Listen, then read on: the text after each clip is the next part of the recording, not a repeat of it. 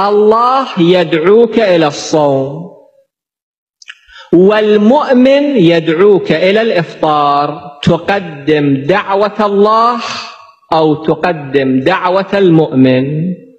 الله نفسه.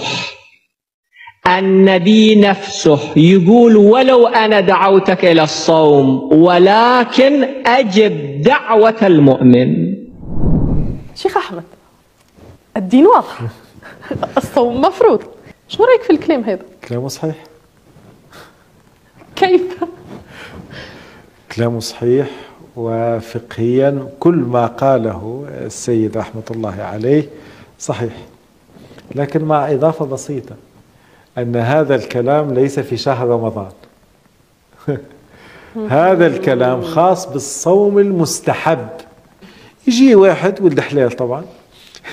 يقطع المقطع من أوله ومن آخره ويوهم الناس أنه آه، الشيعة لا يصومون صوم رمضان. ونرجع إلى وصية نبينا وحبيبنا عليه الصلاة والسلام لأنه في مجرد نقل كل ما تسمع ستقع يعني في الكذب وجوبا لأنه ليس كل ما تسمعه صدقا.